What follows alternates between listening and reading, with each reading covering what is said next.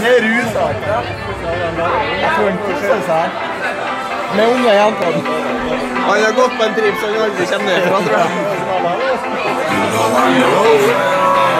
Se Skjer Nå, nå flyter den. Nå flyter den godt. Det er Det skulle vært etter den, egentlig. Ja, nå, nå, har, nå har han fått invitasjon, nå er han i gang. Nå stopper han aldri. Det, han er dritkul.